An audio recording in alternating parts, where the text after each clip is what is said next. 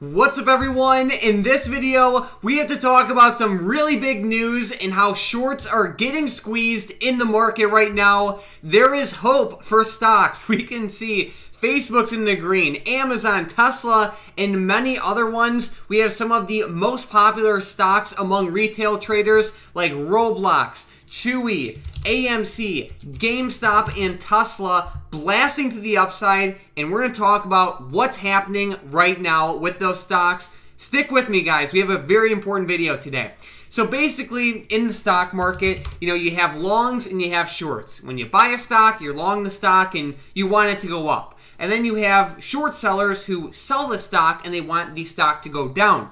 When short sellers open their positions and they short a stock, like I said, they want their stock to go down. When they end up closing their position in the future, they have to buy back their shares, which causes the stock price to go up. So basically, if we use Netflix as an example, it might have made sense to short Netflix shares at $650 or even 600 or 400 or 300 or any other price level like that. But there comes a point where it is no longer worth holding that short position for multiple reasons, including you know opportunity costs, maybe short interest fees, and other um, other factors out there. And when shorts close their positions, they buy back shares, and therefore the stock price pops up. So basically, what it looks like we're seeing right now is shorts covering their positions, especially on some of these like hype, I don't want to say hype stocks, but just like growth type plays, you know, like we talked about Roblox. The thing is up almost 20% today. You know, DraftKings is up by 11%, Chewy's up by 16%,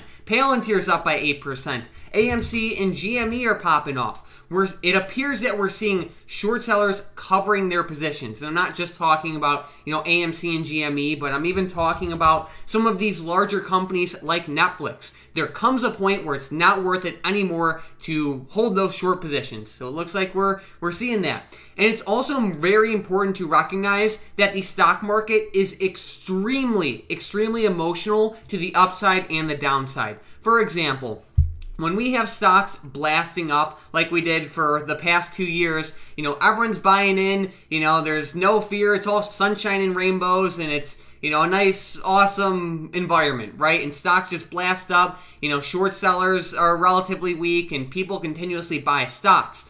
On the other hand, when stocks are falling down, it's very scary. You have people on CNBC and everywhere saying, you know, the world's going to end, blah, blah, blah, blah, blah. Short sellers are coming in and, you know, people are forced to sell their positions through margin calls and people are just scared to buy.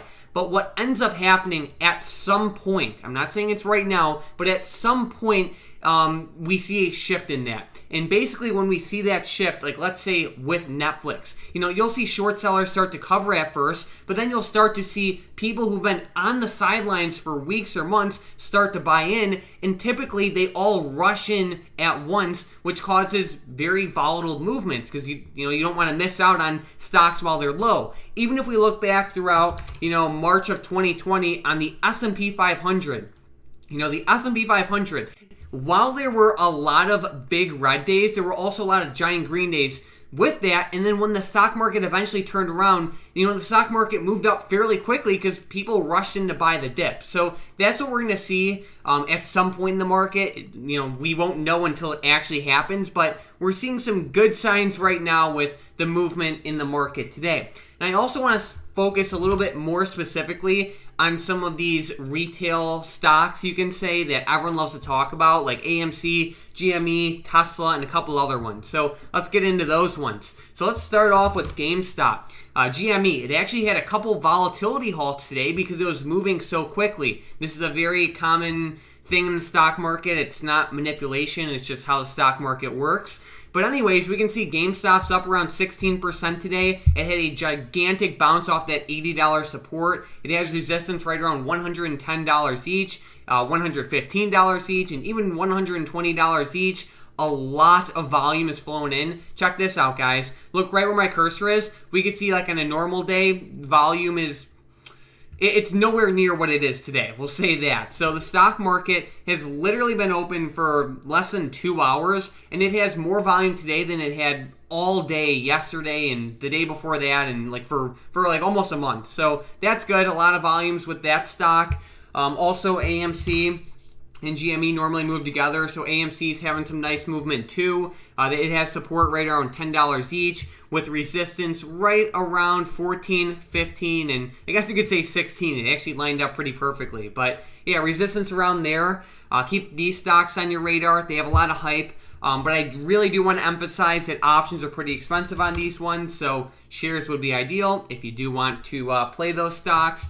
Also, we had to talk about good old Tesla. This stock's doing good today, but it's kind of underperforming a lot of other stocks, to be honest. While Tesla's up 1%, um, a lot of other companies are outperforming Tesla, but you know, then again, Tesla is outperforming some other companies, so I, I, do have to be fair in that sense. Like Apple is still technically in the red today, so is Microsoft and a couple other ones. So it's important to be fair in that sense. But Tesla's holding up relatively well. It actually dipped below $700 this morning and had an amazing reversal. So there we go. That's awesome. Good volumes flowing in as well.